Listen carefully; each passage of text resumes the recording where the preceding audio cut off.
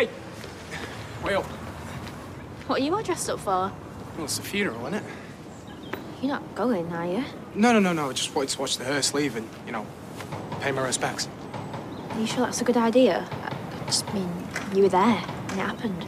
Yes. I mean, I did everything I could to try and help him. It's not my fault that Kelly's a psycho. I thought you were on my side. I am on your side. Well, why else would I want to get back with you? You back together? You made me believe I could trust you again. You can. He killed Seb. No, I didn't. Believe him.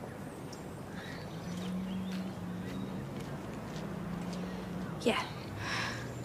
Yeah, I'm, so I'm sorry, I do.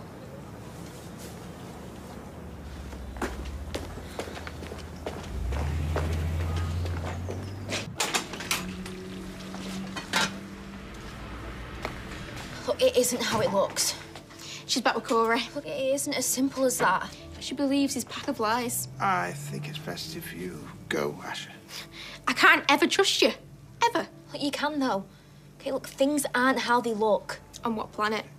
Your boyfriend killed Seb. Look, I know you're devastated. Okay, I hate seeing you so upset. But in time, you'll recover.